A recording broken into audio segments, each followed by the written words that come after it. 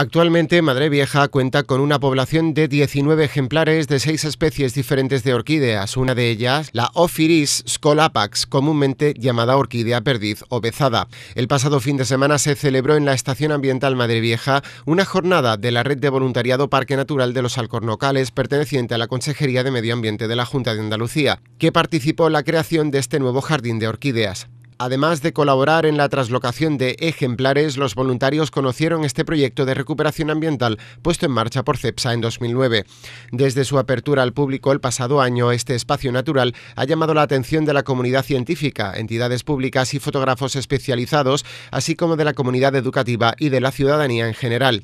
la creación de un sendero con paneles interpretativos de los hábitats de interés, varios puentes de madera para cruzar las escorrentías y el observatorio de aves adaptado han contribuido al fomento de este uso público por el que CEPSA quiso apostar desde la creación de este proyecto. Actualmente habitan en Madrevieja más de 170 especies diferentes de aves, mamíferos, anfibios, insectos y reptiles y cuenta con hasta 224 especies botánicas, muchas de ellas de gran riqueza ecológica. El objetivo de esta iniciativa es poner a disposición del público un centro de investigación en el que pueda observarse la convivencia entre industria y naturaleza y su evolución positiva y que además sirva también como un espacio de educación ambiental.